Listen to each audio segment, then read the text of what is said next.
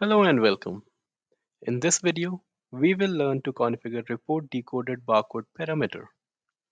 To configure report decoded barcode parameter, please select DW demo from DataWedge profiles.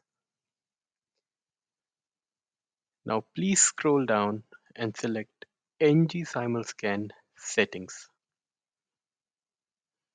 Within ng simulscan settings, please select multi barcode parameters and now you will see report decoded barcode. Please select report decoded barcode to finish the configuration. Thanks for watching.